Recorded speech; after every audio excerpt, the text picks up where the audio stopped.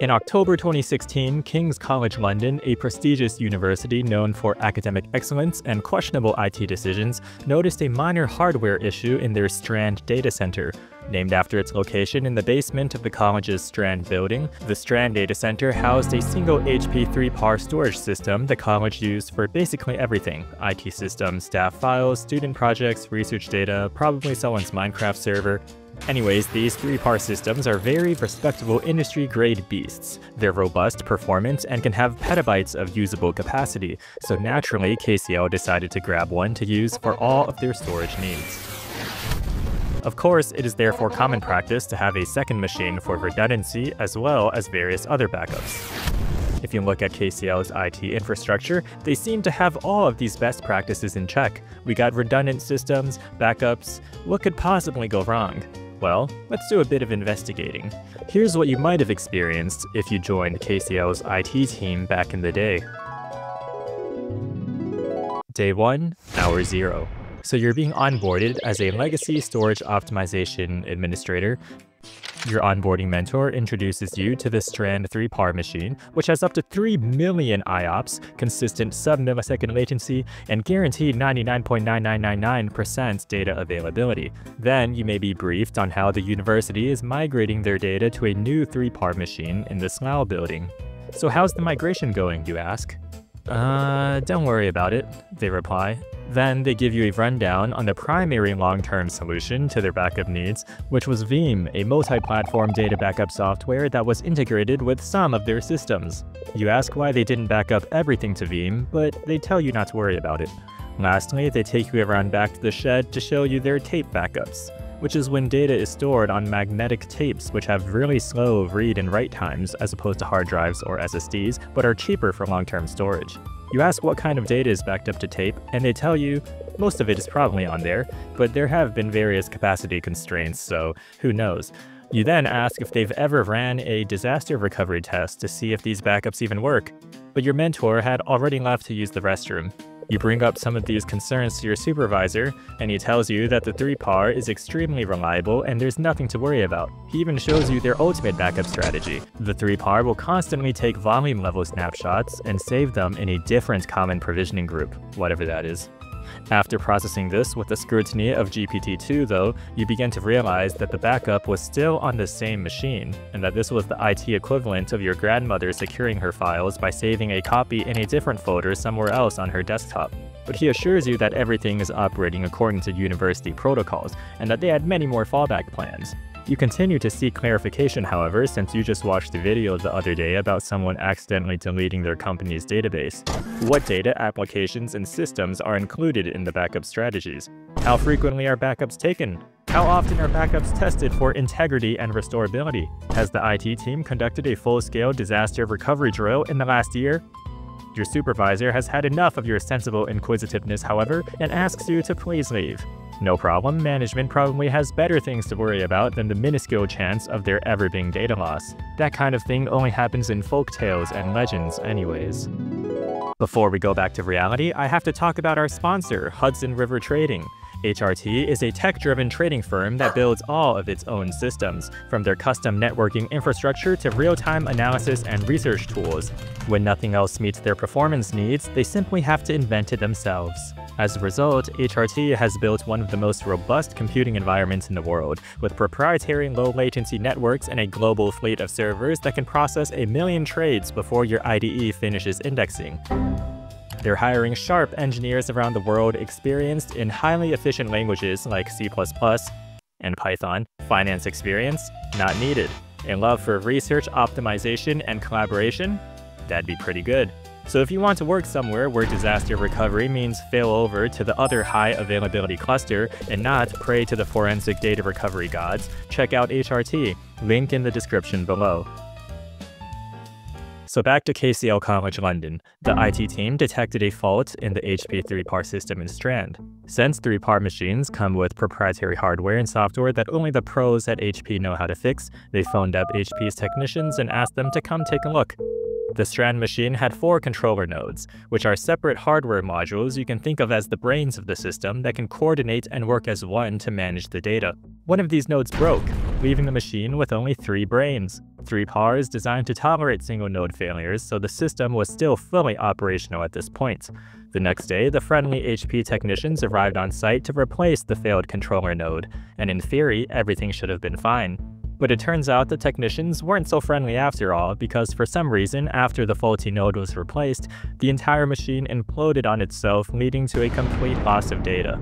Upon further investigation, it was determined that an incompatibility between the new firmware on the replacement controller node and the old firmware on the existing hardware caused many storage disks to fail, 3PAR storage architecture breaks physical disks into 1GB chunklets and assembles logical drives by drawing chunklets from as many different disks as possible within a common provisioning group. This wide striping lets large files, which occupy multiple chunks, to be written in parallel across many disks, delivering high throughput. RAID protection is layered on top, so if one or two disks fail, the system can rebuild missing chunklets from the remaining data and parity. What the heck is parity? Well, going back to freshman year of college, you may have been in a class where you learned about Boolean algebra. One of the coolest Boolean functions you can perform is XOR. Unlike OR, which only requires one of the two operands to be true, XOR requires exactly one input to be true. So XOR is both commutative and associative, just like multiplication in real math. But the trick here is the identity property, any value XORed with 0 equals itself, and the self-inverse property, any value XORed with itself equals 0. So suppose you have chunks A, B, and C, which are in reality just a bunch of bits that can be XORed together. We can calculate the parity chunk P by XORing all of them together. Now suppose the B chunk blows up and we lose it. Can we reconstruct B using AC and the parity chunk? Why yes, of course. Doing some quick maths, we first take advantage of the self-inverse and XOR B onto both sides. B XOR B is 0. Now by the identity property, A XOR 0 equals itself. Next, we XOR P onto both sides. Same deal, P XOR P is 0. Since XOR is commutative, we can flip 0 and B around and apply the identity property to get just B. And here we have it. Chunk B is equal to the XOR of the other chunks used to calculate the parity and the parity itself. But just like any RAID system, if failures exceed the protection level, for example, if both chunks A and B failed, then we have data loss. In the event that many disks fail, it's possible to have complete data loss, which is exactly what happened to the Strand 3PAR system. HP had issued a firmware update weeks before, which if applied, could have avoided the version incompatibility that caused the incident, but the IT team at KCL had not had the opportunity to apply the update. In the articles and forums I've read, most of them, including the title of this video, make fun of the school for not knowing how backups work. But having software that is a few weeks old isn't a big deal, and having all your data wiped because of this seems like an egregious error from HP. But technically speaking of course, HP cannot be blamed, as their terms absolve them of liability for most things. Anyways, what's done is done, and the data in the Strand 3PAR system was done. Not only was data from IT systems such as payroll and students' records lost, but also research data and strategic plans written by professors and researchers in the shared drives. Furthermore, many internal systems and university websites went down. IT was now facing what could be the most significant technical outage to ever occur to an educational institute. But it's not time to panic just yet. Take a deep breath and think about this logically. Uh, we could probably piece together these backups and get something done. Let's have some staff get the critical services back online while others verify what data is lost and what could be restored. In the following days, timetabling, payroll, student information, and library systems were restored to working order. In parallel, the team took a look at their many backup options. First and foremost, the broken 3PAR machine had volume snapshots taken regularly, but as we already know, those were only saved on the same machine, so that wasn't going to help. There was another 3PAR system in the Slough building, but only a limited number of applications wrote to that system, and the content in Strand was not replicated there. But what about Veeam? Same deal, only a select few applications were backed up through Veeam. Things were looking grim, and it seemed like most of the Strand data was going to be lost forever, especially all the precious research data in the shared drives. Unless, of course, the tape backups could pull through. So the tape backups were the biggest dumpster fire of them all. There were capacity constraints partially caused by terabytes of junk data being backed up daily. There was also little awareness of business risk, so the subset of things being backed up to tape was not necessarily important. Staff also consciously refrained from backing up certain drives to tape because they thought they could rely on the volume snapshots we talked about before, which were only backed up onto the same machine. Furthermore, the tape backup automation failed regularly but reported as completed anyways, leading the staff to believe they were succeeding. As a result, none of this stuff was escalated to higher management, causing the entire tape backup process to be fundamentally broken. By the 26th, about a week after the deletion, the severity of the shared drive data loss was made clear. Faculty at the school had been saving a lot of very important data on the shared drives, which wrote to Strand. For example, the Institute of Psychiatry, Psychology, and Neuroscience, or the IOPPN, was hit particularly hard, losing research data accumulated over decades that could only be generated by specialized devices. Well, it's about time now that we assemble the IOPPN hit team because we're either going to get these files back or die trying. What followed was the grueling restoration process which took place over the next month. This would include forensic recovery, reassembling the 3PAR storage structures manually based on the metadata which remained, as well as digitizing data from the paper copies. By the 4th of November, all services and the J drive were restored. By the 8th, the U drive was restored, and by the 11th, the R drive was restored, at least whatever was possible. There are supposed to be four shared drives on Strand, but nothing on the timeline reveals the fate of the N drive. Perhaps it was part of the irretrievable data loss mentioned in an email sent to university staff. After the restoration process, the shared drives were now available on new infrastructure with new backup technologies.